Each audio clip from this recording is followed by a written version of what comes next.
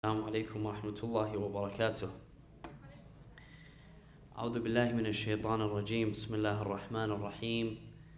الحمد لله رب العالمين والصلاة والسلام على أشرف الخلق أجمعين. سيدنا وحبيب قلوبنا أبي القاسم المصطفى محمد. اللهم صل على. وعلى آل بيته الطيبين الطاهرين المعصومين. Dearest brothers and sisters, once again, Assalamu alaikum wa rahmatullahi wa barakatuh. Continuing in our uh, discussion with Surah Nuh, chapter 71, tonight, inshallah, we will focus on verses 21 to 25. And in this section of Surah Nuh, we find that Nuh continues speaking to Allah subhanahu wa ta'ala and telling him that after an extended and prolonged period of teaching and encouraging his community members, that many of them continued to reject his message. They rejected the message of Prophet Nuh alayhi salam and they insisted on their rejection of the message. And so in verse number 21, Allah subhanahu wa ta'ala says, قال نوح رب إنهم عصوني واتبعوا من لم يزده ماله وولده إلا خسارة. Nuh told Allah subhanahu wa ta'ala, he was complaining to God. He said, My Lord, they disobeyed me and followed those whose wealth and children increased them in naught but loss. That after hundreds of years, I mentioned several nights ago, that the Quran tells us that Nuh alayhi salam remained with his community for 950 years. 950 years teaching his community.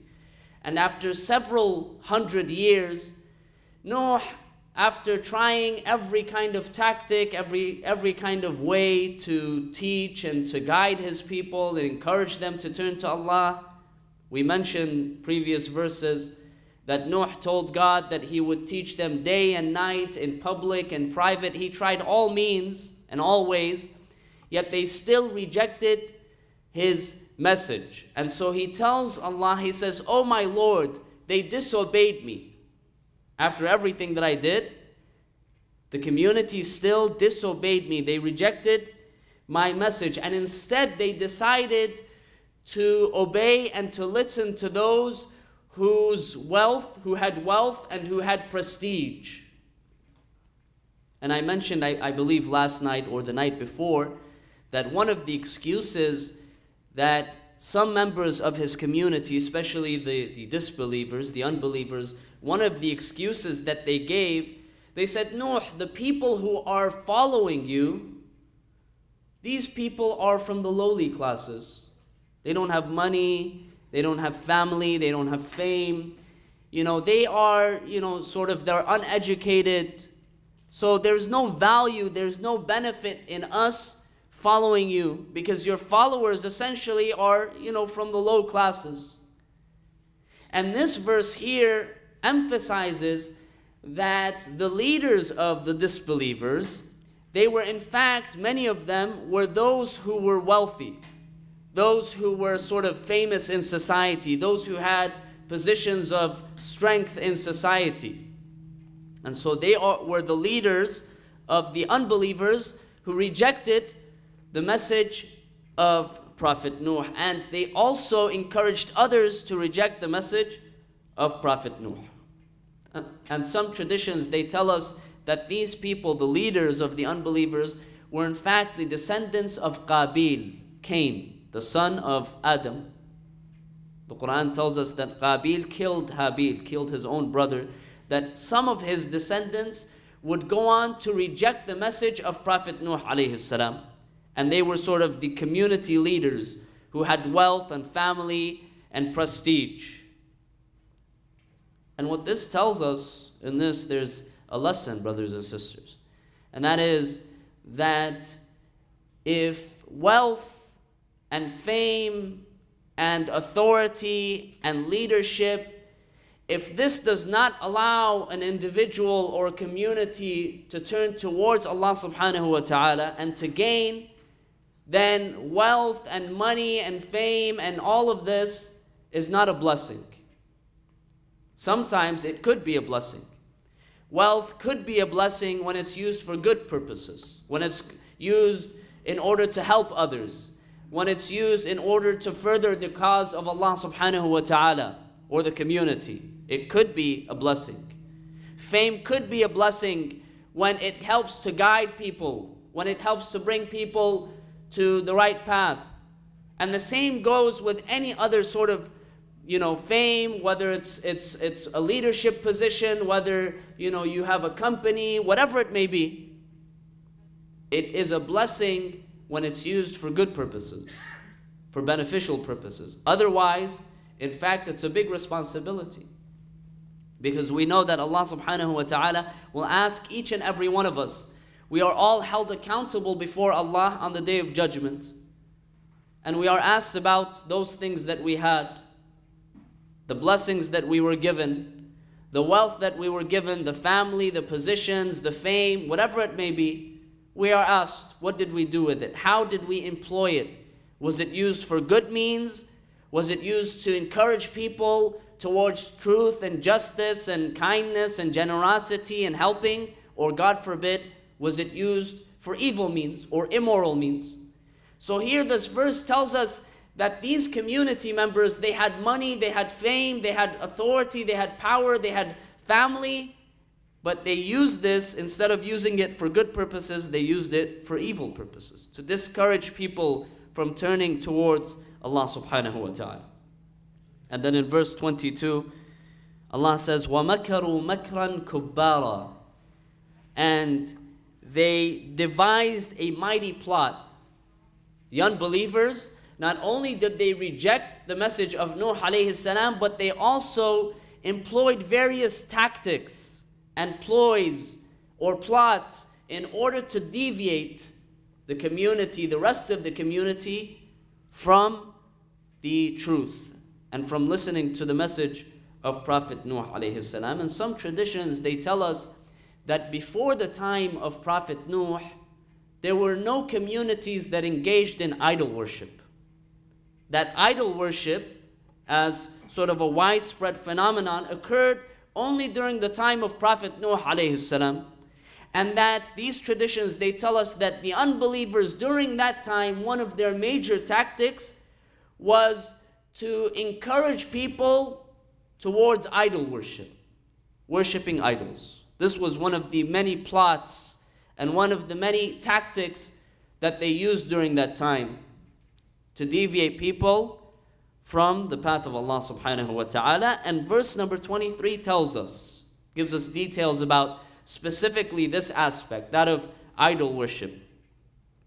In verse 23, Allah says, وَقَالُوا لَا تَذَرُنَّ آلِهَتَكُمْ The leaders of the unbelievers, they would encourage the community members. They told them, and do, they, they said to them, Do not leave your gods. Do not abandon your gods. You have these gods, these idols that you worship. Don't abandon them. Because if you listen to Nuh, then you're going to essentially be abandoning these idols.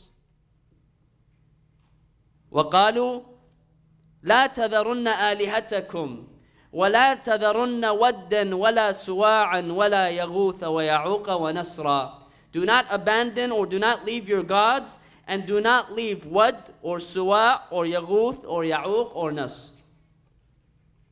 These are five names that they employed. They said, do not leave these five names. Now, the exegetes, the interpreters of the Quran, they've given various opinions as to what these names or who these names refer to. Who do they refer to? Wad, Suwa', Yaghuth, Ya'uq, and Nasr. Who do they refer to?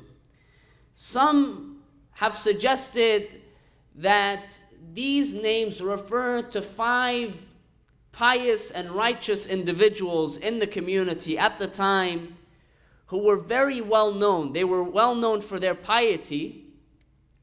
But some people, after their death, after the death of these five individuals, some people ended up creating idols or statues of them, statues of them, so that the community can remember them, so that their memory will remain, and that people can look up to them and revere them because of their position. And that slowly, after generation and generation, some of the community members they forgot who these individuals actually were or who these statues referred to and the purpose that they were made for, but instead they began to worship these idols. So, this is one opinion that's given that these were five righteous individuals. Another opinion says that these were five of the progeny, it's similar to this opinion, five of the sons or the progeny of Adam alayhi who were also unique, they were pious, they were well known, and the same story goes that you know there were idols or statues that were created in order to continue the memory of these uh, descendants of Adam alayhi salam, and after a while, these statues began to be worshipped.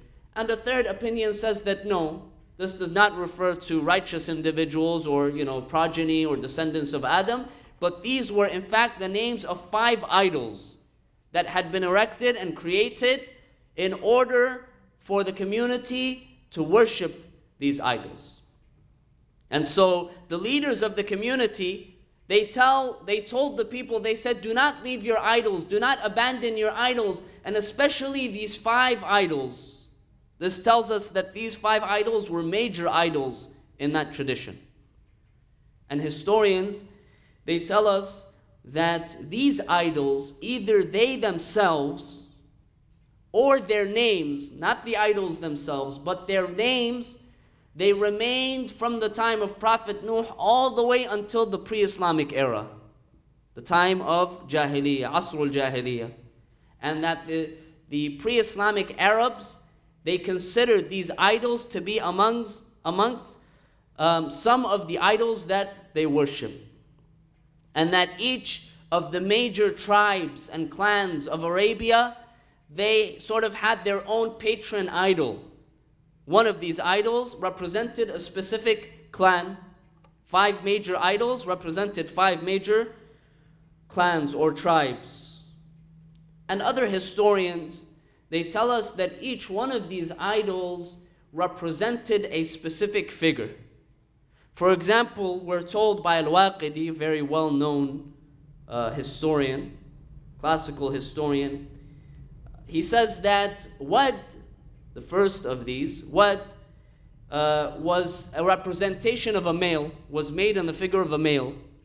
Suwa' was made in the figure of a female. Yaghuth was created with the figure of a lion and Ya'uq was created in the figure of a horse, and Nasr was created in the figure of an eagle. That each one of these idols represented specific figure, and that these idols they were placed in different places around the Kaaba. These, in addition to the idols that the Arabs themselves they had created and they had made. Some of the major idols during that time before Islam, some of the major idols are known as Hubal. Hubal was the largest and the biggest idol of the Arabs. It was the, the biggest idol, Hubal. And it was placed inside the Kaaba. The Kaaba, of course, you know, from the time of Prophet Ibrahim, after it was uh, uh, built, it continued and it was considered a sacred place even for the idol worshippers the pre Islamic Arabs, the pagans. And so they used the Kaaba and they would actually put their idols inside the Kaaba, around the Kaaba, on top of the Kaaba itself. So Hubal, being the greatest idol, was in fact placed inside, in the heart of the Kaaba. Other idols, such as Asaf, was one which would face the black stone. So the corner that has the black stone of the Kaaba, a specific idol was placed facing that corner. another corner faced, uh, another idol faced the southern, or what is known as the Yamani corner, the southern corner. And this uh, was known as Na'ila, the name of this idol. And then, of course, there were other famous idols that the Quran refers to also Al-Lat, Al-Uzza. These were major idols that the Arabs worshipped. And historians and scholars tell us that all in all, there were 360 idols altogether. There were 360 idols that the Arabs used to worship before Islam.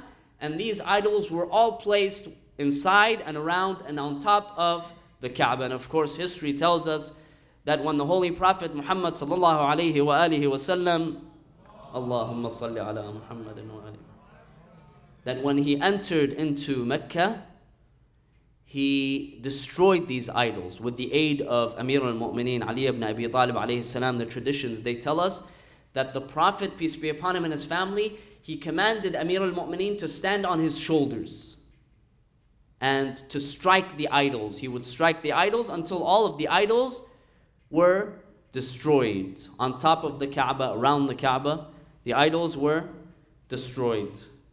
When the Holy Prophet, peace be upon him and his family, began to proclaim worship of the one true God.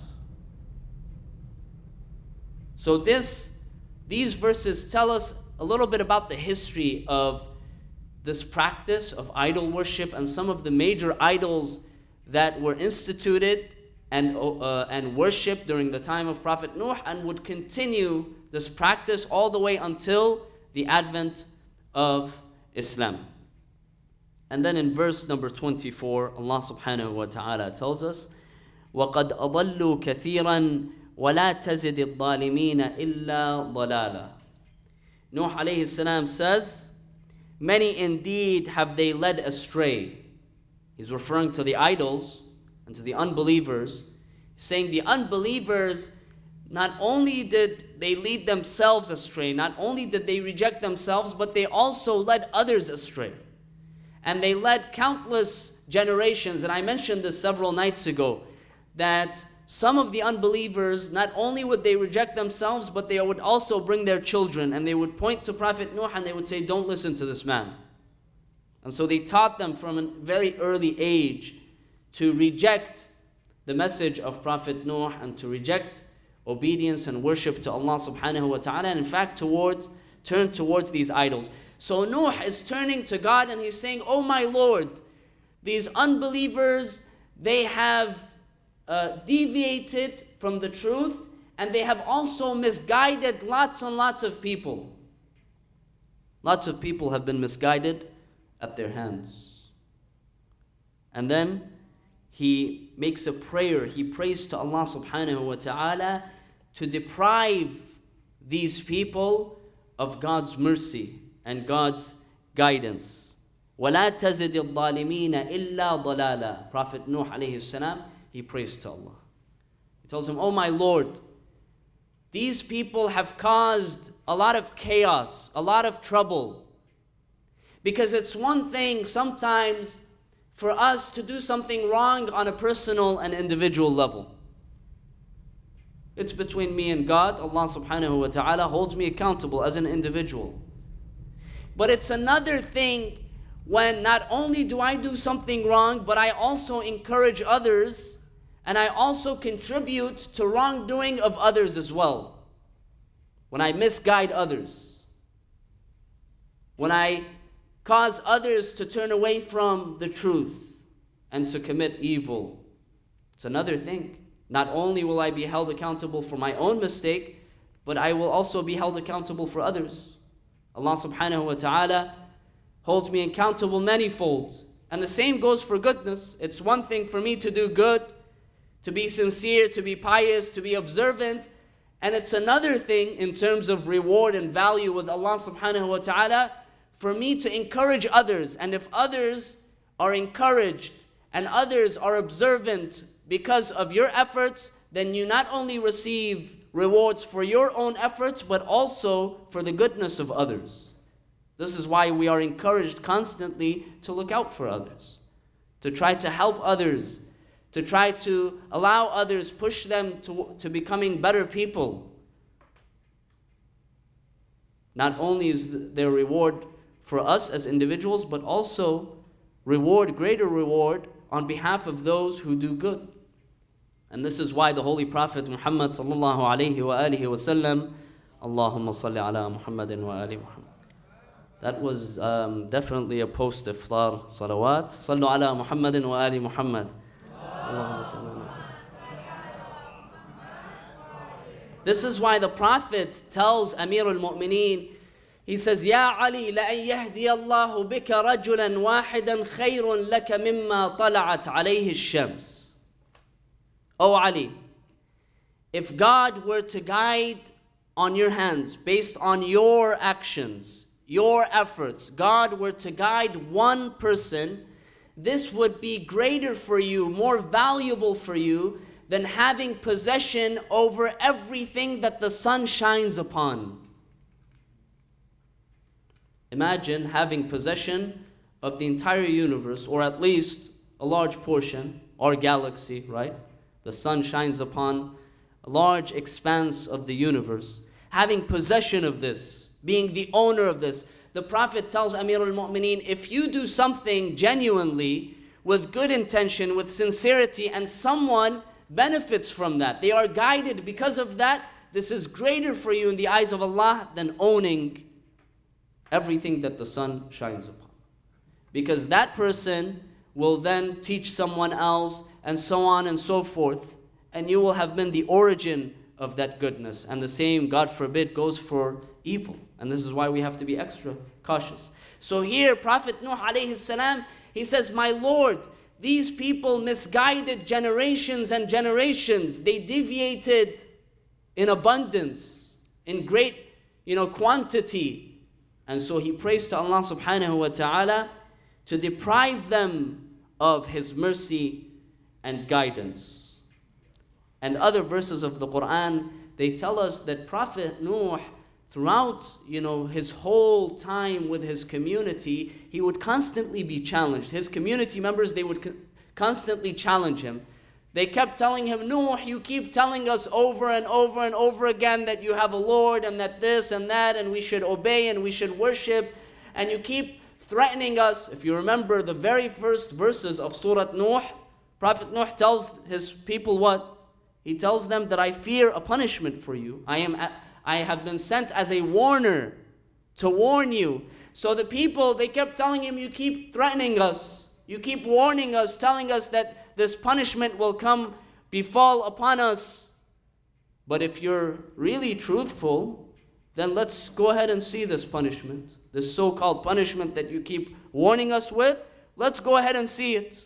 This Surah Nuh tells us, uh, I'm sorry, Surah Hud, chapter 11, tells us that the kuffar, this is exactly what they told him. They challenged him. They said, Nuh, if you are serious, if you're truthful, then go ahead. Let's see this so called punishment. And so here we find that it wasn't just a matter of ignorance or mistake, that they insisted and they persisted on their arrogance and their rejection of the truth. And so Allah subhanahu wa ta'ala tells us about the punishment of this community.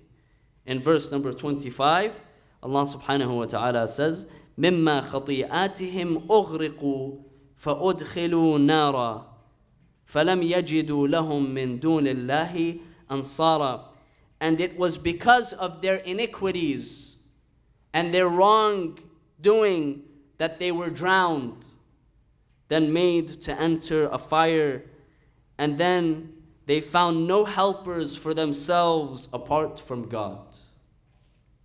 We are told of the major punishment that Allah subhanahu wa ta'ala brought down upon the evildoers, the community of Prophet Nuh, of course, the major flood that took all of them away. Inshallah, we will continue with Surah Nuh tomorrow night, and most likely tomorrow night, inshallah, we will complete uh, Surah Nuh. We ask Allah subhanahu wa ta'ala to accept our prayers and our supplications, our fasting, and the little that we have to offer during these holy days and nights. We pray to Allah subhanahu wa ta'ala to forgive our sins and our shortcomings and our mistakes. We pray that Allah subhanahu wa ta'ala guides us to the truth, allows us to be agents of positive change in our lives and in the lives of others. We pray to Allah subhanahu wa ta'ala to bestow His peace upon those who are suffering, those who are ill around the world. We ask Allah subhanahu wa ta'ala to bring relief and comfort to those who are sick, those who are ill. And we pray to Allah subhanahu wa ta'ala to bestow His peace upon the souls of those who have passed away.